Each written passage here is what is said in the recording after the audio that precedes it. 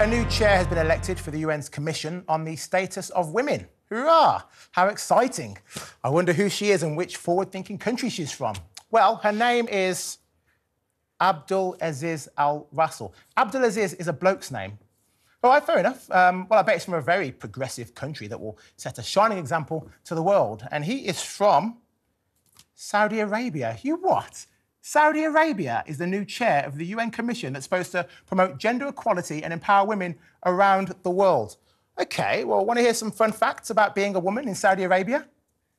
There aren't any. There are, however, deeply regressive laws that make women second class citizens vulnerable to domestic and sexual abuse, like uh, ruling that a woman has to obey her husband and her husband's financial support is dependent on said obedience. In fact, a woman refusing to have sex with her spouse or refusing to live in the marital home or travel with him without a legitimate excuse can also justify financial support being withdrawn. And that's the actual law, by the way, as of 2022. I'm not talking about old legislation. That is the law right now. Oh, and by the way, women couldn't drive in Saudi until 2018. I have socks and pants older than that law.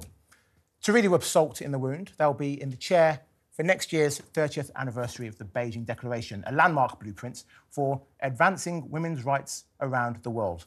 It's clear what the Saudis get out of this. Of course, it's clear. They get a chance to pinkwash their image with paper feminism, pure lip service to the cause of women's rights to distract from what we all know is going on at home.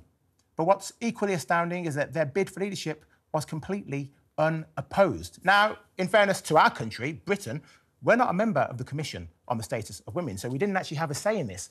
But maybe we should think again about whether the UN is really fit for purpose. My only hope from any of this is that with the spotlight shining on Saudi Arabia, they may feel the pressure to make meaningful changes to women's rights. But until they do, they're just another embarrassment to the world of woke.